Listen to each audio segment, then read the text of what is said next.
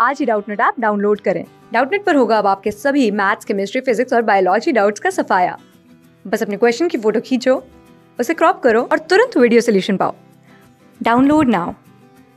Hello, हमारा प्रश्न है कि निम्नलिखित प्रश्न में एक शब्द दिया गया है, उसके आगे चार अन्य शब्द दिए गए हैं तो उनमें से एक दिए गए शब्द के अक्षरों से नहीं बनाया जा सकता तो उस शब्द को ज्ञात कीजिए। देखो, हमारा प्रश्न है कि कौन सा शब्द हमारे दिए गए शब्दों से बनाया जा सकता है। देखो, यहाँ देखो, सबसे पहले मैं बात करता हूँ हमारे शब्द की। हमें जो शब्द दिया गया है, वो है इंफॉर्मेशन पहले हम इसे लिख लेते हैं। I N F O R M A T I O और एन मैं बात करता हूँ हमारे पहले विकल्प की। हमारा पहला विकल्प है फार्मर देखो, अगर मैं बात करूँ एफ़ तो एफ़ हमारे दिए गए शब्द में आ रहा है।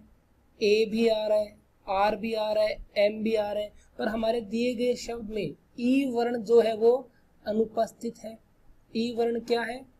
अनुपस्थित है। और ई वर्ण की अनुपस्थिति के कारण जो फार्मर शब्द है, वह हमारे दिए गए शब्द से नहीं बनाया जा सकता।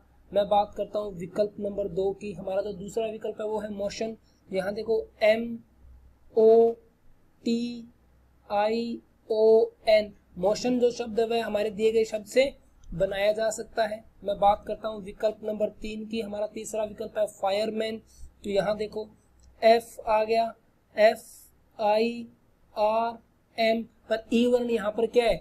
अनुपस्थित है, और ई वर्ण की अनुपस्थिति के कारण फायरमैन शब्द भी नहीं बनाया जा सकता। मैं बात करता हूँ विकल्प नंबर चार की नेम तो यहाँ देखो एन ए एम और ई वर्ण की अनुपस्थिति के कारण नेम शब्द है जो वह भी हमारे दिए गए शब्द से नहीं बनाया जा सकता। यानी कि विकल्प नंबर दो, यानी कि मोशन को छोड़कर अन्य कोई भी शब्द हमारे दिए गए शब्दों से नहीं बनाया जा सकता। तो हमारे दिए गए शब्दों से कौन सा शब्द बनाया जा सकता है? मोशन शब्द बनाया जा सकता है। तो हमारा आंसर क्या आ गया? विकल्प नंबर दो। धन्यवाद। क्लास सिक्स से ट्वेल्थ से लेके NEET I I T JEE mains और एडवांस के लेवल तक। दस मिलियन से ज़्यादा स्टूडेंट्स का भरोसा। आज ही डाउनलोड करें डाउट नेट आप या व्हाट्सएप कीजिए अपने डाउट्स आठ चार सौ चार सौ चार सौ पर।